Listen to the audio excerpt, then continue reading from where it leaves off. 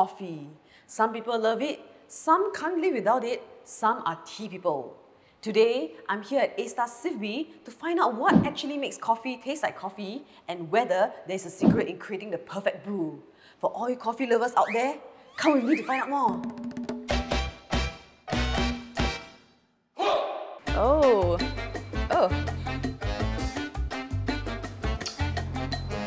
Oh, this is really a mind-blowing experience.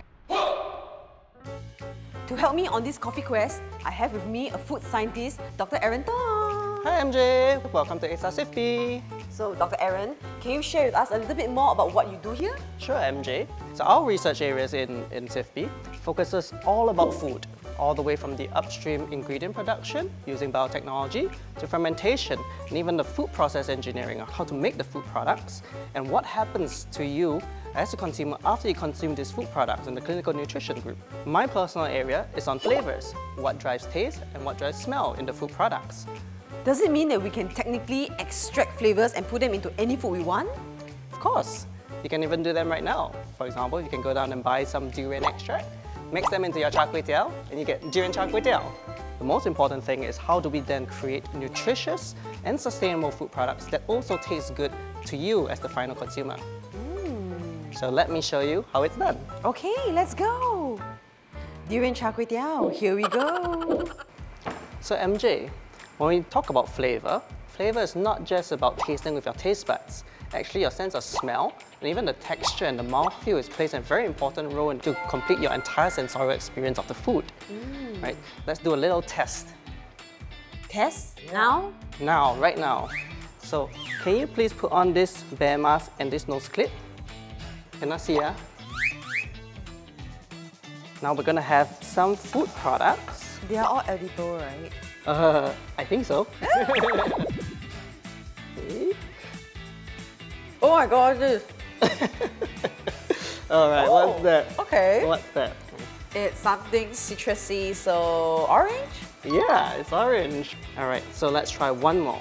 This is a liquid, all right? Ooh. And give that a taste. All right. What's Oh. that like? Oh. Oh, this is a strong one. it actually tastes a bit like cough syrup. Cough Find syrup. out that it's cough syrup. So actually, if you take off your mask, this is actually extract of vanilla. It's a vanilla extract? Yeah. This? This is vanilla.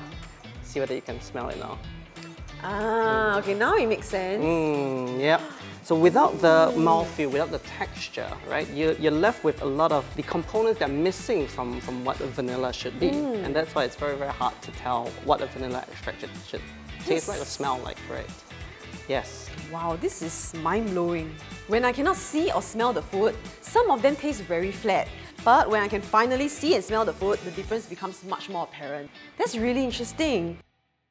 So, Dr. Aaron, now that we know the importance of scent in flavor detection, what's next? So in order to find out what is driving the scent, what is giving the food material its particular aroma, we first need to extract it out, right? And how we do that is with a setup called distillation. Uh, what we have in there is coffee beans. Oh, right here? Yeah, you can see the coffee beans. And what happens is that you have a flask of water that's being heated. This generates the steam. The steam passes through the beans, extracts out all the volatiles, which then goes over, condenses, and falls into the receiver flask. So here's the water that's being extracted out. It's transparent. Yeah, it's actually what gives the aroma, what gives coffee the aroma. It's really all these colorless molecules that are floating around in the water itself right now that's all been extracted out. And all that's left behind is this dark black color, but in fact, all your flavor is in here. Okay, so I have a question. There's many flavor compounds swirling inside here. How do we identify what gives the flavor in food? So we have a special machine that will take in the, the flavor compounds and separate it out, and then you can smell these different volatiles as they come out of the machine. Right? That way you can identify which of the particular molecules gives the particular flavor to the coffee. There's a special machine. There is a special machine, and you can try it out. Let's go try it out. So MJ, this is the special machine I've been telling you about. Wow, it's huge. Yeah, and what it does is it takes the aroma compounds that we just extracted out, and it separates them and delivers them to your nose so that you can smell and we can identify what are these molecules that are driving these aromas. So I want you to go closer, right? Put your nose next to the, the nose cone, right? And give it a sniff. Oh, I'm smelling something. It's, it's a little bit nutty. Now it's like the wok hei smell. Very smoky aroma. Yeah. Uh, this smells a bit like like rotten egg. I don't like eggs. it's a very Oh. eggy, oh, Yeah. very sulfurous. Oh, it's sulfurous. Yeah. Oh. This is really a mind-blowing experience. Like, who knew that a smell is not just a smell, it's made up of a lot of different smells Yeah. together. Wow. So now that you have all of these aromatic compounds extracted, can you actually modify them and then put them back into the food? Yeah. So in fact, that's one of the angles of our research here. We need to understand what is present or missing in the alternative compared to the real thing. And so to do that, we analyze and we see what are the differences so that we can able to, to put them back in through biotechnology or fermentation processes to not just make sure they are sustainable and healthy, they also taste good for you as the final consumer.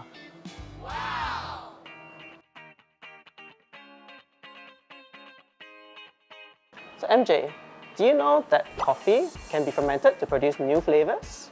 Fermentation? Yeah. Isn't it for food like wine and kimchi? Not just wine and kimchi, but actually a lot of our everyday food, from the chocolate that you eat to the coffee that you drink, are in fact fermented.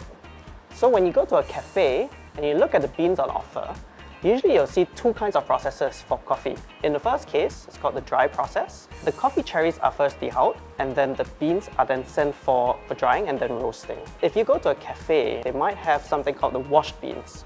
In these processes, they take the coffee cherry, they wash out all the flesh, and they leave the beans to soak.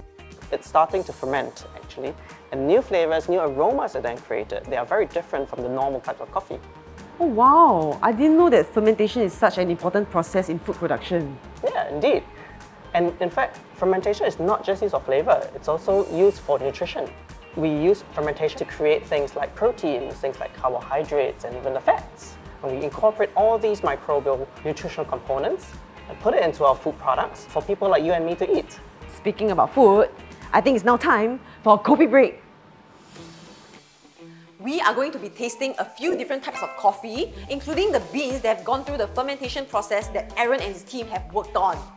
So to join me in this test, I have two coffee enthusiasts with me, Haresh and Marvin. Hello, hello guys. Welcome, welcome. Are you guys ready? Yes. Yes. Okay, once you guys are ready, let's go! Let's go. Well, to throw our senses off even more, we'll be doing the taste test in specialized testing stations under special conditions. These specialized lighting and isolated booths will allow us to focus more on using our sense of smell and taste. So, without further ado, let's begin! This one is the Kopitiam one. Confirm. Confirm. Years of Kopitiam experience. there's like a fruity notes to it. So Ah, I know what's this already lah.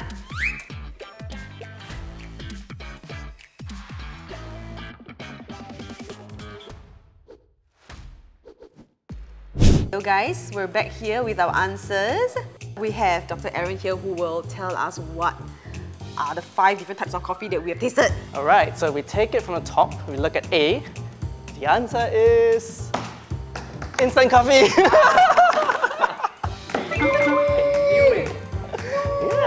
instant coffee. Ah, I know what's this already lah. So it's instant coffee. Yeah.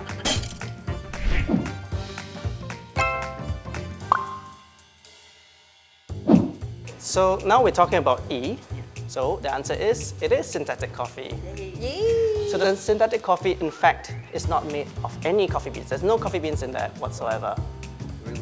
Yeah. So um, I'm, I'm very impressed that you, you even think it's dry processed coffee because those are very high-end beans as well. Mind blown. because it really tastes like coffee. It really tastes like really coffee. Yeah, it does, tastes it. Really. Mm. So the flavor of coffee is very difficult to replicate. As you smelled just now, there's a hundred different compounds in there that, that give rise to the flavor and smell of coffee. So imagine you're trying to create a sustainable coffee product without using the coffee bean. It's a really an uphill task. In fact, we are working with an A-Star spin-off to be able to enhance and improve the flavor of their sustainable coffee option. it is very possible that in the very near future, we could all be drinking sustainable coffee that is customizable to our own likings. Yeah.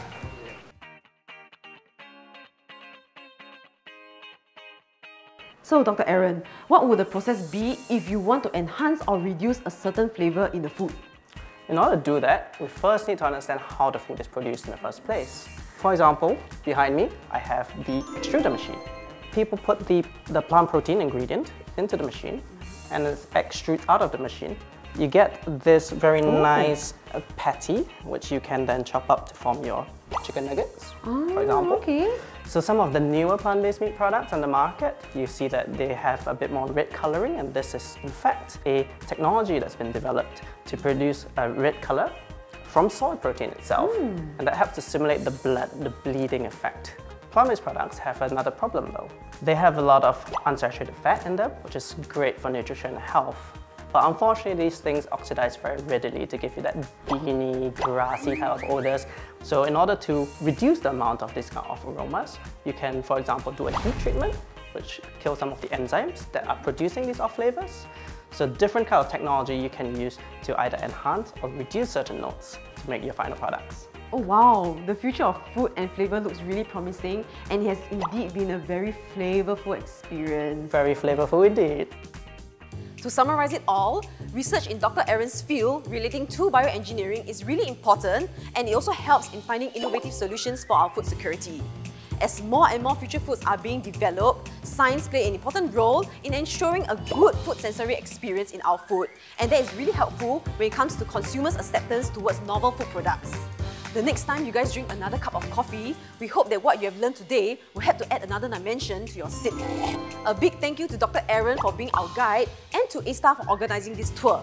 If you guys have any burning questions, do ask them in the comment section below.